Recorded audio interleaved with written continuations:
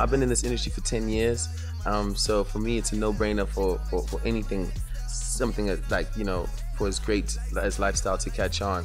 And I just think that, look, you know, I, I, am very humbled. You know, it's been a wonderful journey, and, and there's still a lot more to come but I'm, I'm really excited, you know. The people that I'm working with, Gemini Major, like I said, people like Younger, these are young kids who have all got stories. If I can give them an opportunity to tell their story, if I can give them an opportunity to ride a wave with them, or, or if I can give, give, give them an opportunity to, to break boundaries, then why not?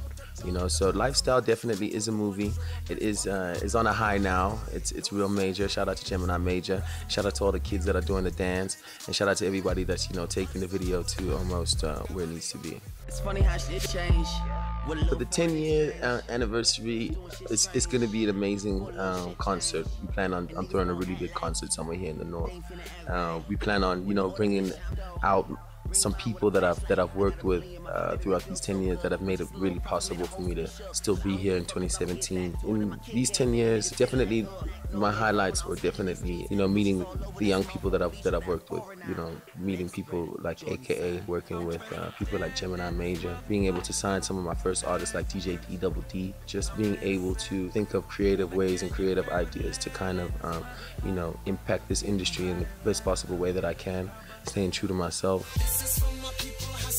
Definitely, my years with Jozi were undeniably some of the best years of my life. You know, we traveled all over the world. We went to America, we went to London. Some of our first shows were in London, um, Nigeria. We really penetrated the African market. You know, being a part of collaborating with African artists um, and meeting them and, and, creating relationships with them, like Burna Boy, um, D'banj, Wizkid. You know, those, those those are things that you, you can't buy, and, and those are things that I cherish the most the eighth annual all white pool party, um, which was uh, postponed from last week to the 18th of February. And, and that only happened because um, apparently Lalla didn't want to come to my party. So if Lalla ain't coming to my party, then I ain't having a party. So apparently she's available on the 18th of February. Could be her birthday or whatever. You know, I got the whole thing laid out for you, girl. And uh, yeah, we'll see you there. Best memory over the past seven years? This is definitely the best memory.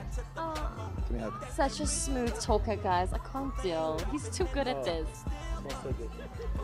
Of course the ninja smell good. I love it. Okay, anyway, we'll see you guys later. We're going to the pool, and apparently. Hollywood, baby.